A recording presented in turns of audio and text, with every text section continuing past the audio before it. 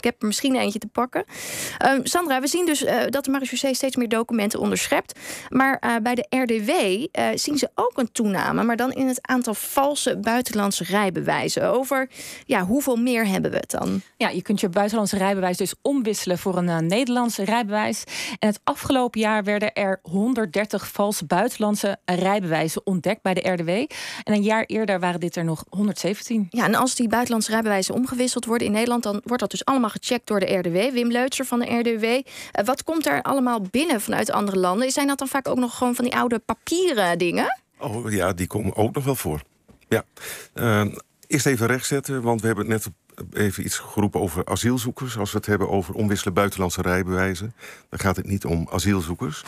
Maar dan hebben we het over uh, nee, mensen die hier komen werken, wonen, leven. Kennismigranten. Kennismigranten, ja, absoluut. Um, ja, het, wat willen ze dan met zo'n document? En dat is eigenlijk maar één ding, want anders kom je niet bij ons terecht. Dat is uh, hopen dat je eh, het document wat vals is, dat daar een Nederlands rijbewijs voor, voor wordt afgegeven. Want dat, waarom is zijn daar zoveel aan gelegen? Wat zit hierachter? Ja, het, het wordt wel eens uh, als heel lastig ervaren om hier theorie- en praktijkexamen te doen uh, bij het CBR. Oh ja. Dus het is het ontlopen van de theorie over meepraten, van de examens. Ik, vond, ik vond het ook niet zo makkelijk. Uh, maar is dat wat, wat vaak de reden die hierachter is? Toch wel is... van, nou ja, niet die hele procedure doorkijken of het op een andere manier sneller lukt. Ja, dat, dat is de, de grootste reden. Je kunt er ook altijd nog bij zeggen, het Nederlands rijbewijsdocument is ook een identiteitsdocument. Nou precies, ja, want dus, dat kan natuurlijk in potentie je... ook gevaarlijk zijn, denk denk ik. Ja, gevaarlijk. Kijk, de RDW die staat voor uh, uh, veiligheid en rechtsgeldigheid. dit, dit, past natuurlijk precies op het ID-document rijbewijzen. we geven het niet zomaar af. Nee. het belangrijkste is dat wij constateren is... als er een buitenlands rijbewijs binnenkomt... gaan we er sowieso van uit dat het vals is. Dus niet van, hé, hey, het is goed en we gaan kijken of het vals is. Nee, het gaat echt van slecht uit? Ja, moet. Dat is gewoon, uh, we zijn dermate verantwoordelijk. We geven een, een identiteitsdocument af. Uh, het, het rijbewijs is het meest gebruikte ID-document in Nederland. Uh, het moet gewoon 100% goed zijn. Als er ook maar enige vorm van twijfel is, dan gaat het niet door. En, en uit, vanuit welke landen komt dat nou met name? Als je het hebt over de vervalste documenten, en dat zijn vaak documenten die van internet worden gehaald zoals uh, een Nederlands document heeft uh, geproduceerd of laten produceren. Ja, online kon, is het vaak een, een Pools document, een Roemeens, ja. Italiaans. Uh, Slo Slovaaks. Dat, dat zijn de documenten die dan binnenkomen. En dat, dat pluizen jullie dan allemaal heel secuur na? Of het allemaal, of het allemaal echt wel klopt? Nou, dat is, dat is onze kerntaak. Ehm, de documenten die ik nou eigenlijk net noem... die zijn met twee vingers in de neus te vinden. Waar wij natuurlijk erg naar op zoek zijn... Uh, het is routinematig werken, het moet geen sleur worden. Hè, dus we houden elkaar ook heel scherp. Maar ja, want hoe doe je dat als je de hele dag dat soort dingen aan het vergelijken bent? Ja, nou, het zijn 40.000 op jaarbasis. Dus het is best wel een, een hoop. Veel eh, koffie drinken dan of zo? Of wat is de tip? Nou ja, koffie drinken. het, het, het, blijft gewoon, het, het, het blijft gewoon, en dat zijn is ook wat de medewerkers van het expertisecentrum zo. Uh, je, gaat op zoek. Hè. Het is niet de gedachte van, nou, het is allemaal wel goed en uh, ja, we, hebben leuk werk en we doen iets. Nee, je bent hier bezig met een product, een aanvraag en daar staat tegenover een Nederlands identiteitsdocument, namelijk het rijbewijs. Dus je bent echt gefocust en we houden elkaar ook scherp. We hebben onderling uh, controles. We hanteren sowieso de vier ogen principe. Dat is een bekend fenomeen, denk ik. Nou ja, dat is natuurlijk ook een bekend fenomeen om, om zoiets als corruptie tegen te gaan. Want als er natuurlijk iemand op een plek zit die uh, nou ja, is omgekocht of uh, nou ja, door criminelen voor een karretje wordt gespannen, dat moet je natuurlijk zien te voorkomen. Dus dat is altijd gegarandeerd. Vier ogen principe, zoals op het kinderdagverblijf, waar ze dat ook hoort. Ja, nou ja, het vier ogen principe is ten alle tijden gegarandeerd. we controleren namelijk bij binnenkomst vooraf of het document echt is of niet echt is. Ja. Dat, dat is gewoon onze core business. Daar begint het mee. Los van of de aanvraag voldoet aan al, alle andere criteria. Vervolgens gaat de aanvraag door naar de afdeling waar een medewerker minimaal DOC 1 opgeleid moet zijn.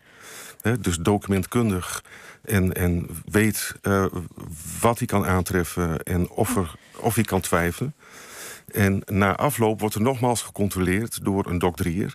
voordat een document uh, ter uh, personalisatie wordt aangeboden. Ja, er zit dus een hele hoop werk in. Jullie zien de afgelopen, in het afgelopen jaar ook een nieuwe trend, heb ik begrepen. Rijbewijs toerisme tussen Syrië, Roemenië en Nederland.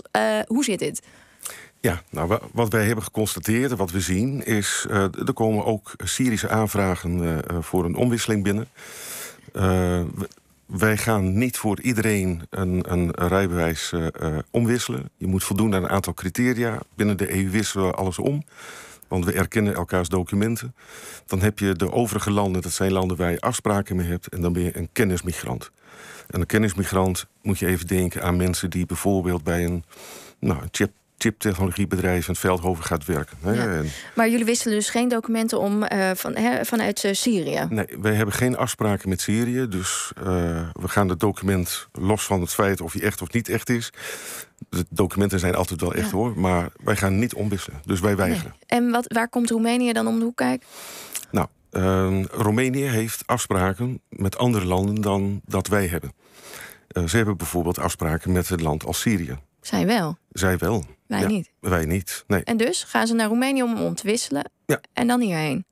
Nou, in de loop van de tijd bestaat de mogelijkheid dat je dan naar bijvoorbeeld, hè, in dit voorbeeld, eh, naar Nederland komt. En je Roemeens rijbewijs omwisselt voor een Nederlands rijbewijs. Dan treedt automatisch de regeling uh, uh, in werking dat binnen de EU elkaars rijbewijzen worden geaccepteerd.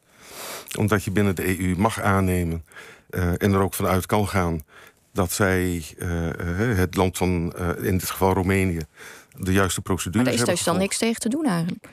Nee, nee. Maar goed, wij nemen dus de EU-documenten van elkaar over.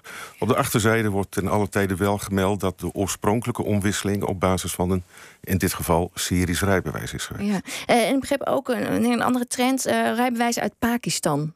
Ja, Wat zien jullie daar gebeuren? Ja, nou is wel even met een disclaimer. Uh, we hebben in de afgelopen uh, maanden 18 documenten onderschept... waarvan wij in de veronderstelling zijn en nog steeds dat het een uh, vals document is. Heel bijzonder. het wordt een Pakistaans rijbewijs aangeboden... Mm -hmm. die qua kwaliteit een, een degradatie heeft meegemaakt ten opzichte van de vorige. Oh, en een degradatie dus... moet je zien in echtheidskenmerken, hè, documentbeveiliging. En er zaten een aantal aspecten niet meer op het nieuwe document. Als je een doctrier zegt van hé, hey, uh, microtekst ontbreekt. Uh, OVI is niet aanwezig. Optisch variabel inkt is niet aanwezig. Ja, dit zijn allemaal vaktermen jullie ja, onder Maar dan ga je absoluut ah. uh, direct ja, op tilt. Want dit zijn typisch voorbeelden van valse documenten. Erik van Assen van de Marechaussee, is de internationale samenwerking eigenlijk goed? Ja, ik kan een ik vind dat best wel heel erg goed zelfs. Uh, als we gaan kijken, onlangs, vorige maand heeft er nog een artikel in de media gestaan... over een, uh, een persoon die aangehouden was in Lissabon. Ja. De, uh, de Portugese grensautoriteiten hadden twijfels over het document. Nou, omdat de reiziger uit, van origine uit Nederland kwam... hebben ze contact met ons opgenomen. En uiteindelijk blijkt dat er een verdachte is aangehouden... die een, een moordaanslag gepleegd had in, in Nederland. En wisselen jullie dus goed die informatie uit? Of kan dat nog beter? Ik vind dat we er heel erg goed uitwisselen. Um, komt toevallig net uit, uh, uit een Europese bijeenkomst uh, binnen Frontex. Um, daar kreeg ik toevallig een nieuw uh, Litouws rijbewijs. Omdat er net een nieuw Litouws rijbewijs uitgebracht is. Die worden daar uitgedeeld aan alle, alle deelnemers. En volgende week ligt hij bij de RDW. Maar dan weet je dus dan, dus daar, dan krijgen jullie zo snel mogelijk die informatie om te zien of dat zoals ze er dus uit horen te zien. Ja, ja. we proberen zoveel mogelijk documenten uit te wisselen. En niet alleen documenten uit te wisselen, maar ook expertise uit te wisselen. Ja. Best practice. Hoe, hoe doet het ene land het? Hoe doet het andere land het? En um, ja, je probeert van elkaar te leren.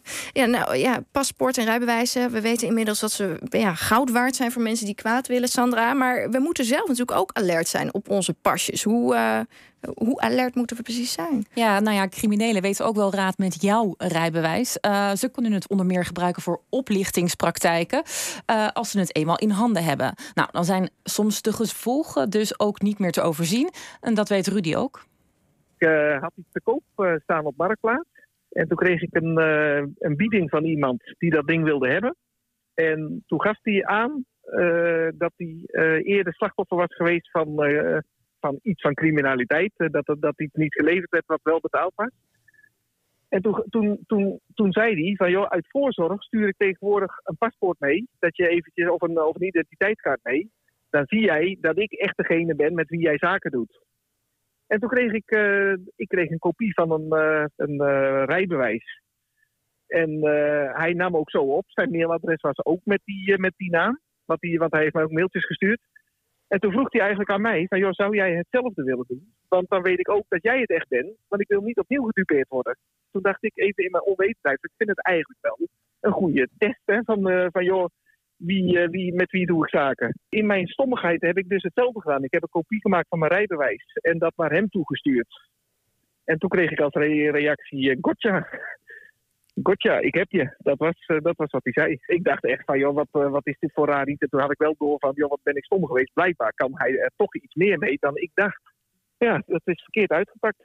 En eh, toen had hij van mij dus een extra gestolen identiteit. Hij is dus eh, met mijn identiteit op dezelfde manier via Marktplaats heel veel eh, mensen, echt heel veel mensen gaan benaderen.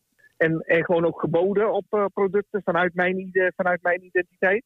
En ik weet dat hij ook bij een paar mensen heeft hij ook gezegd van joh, dat ze een aanbetaling moesten doen op iets.